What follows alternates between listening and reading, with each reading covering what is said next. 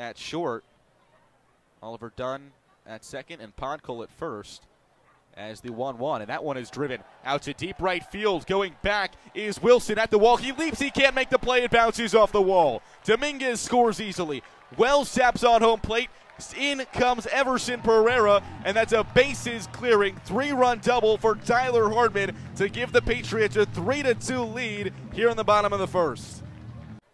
As the payoff pitch, runner goes, and that one's driven out toward deep left field. Garrett Whitley going back, and he'll just stare at that one. Bye bye, baseball. Tyler Hardman, his team leading seventh home run of the season, gives the Somerset Patriots a 7 2 lead here in the bottom of the third.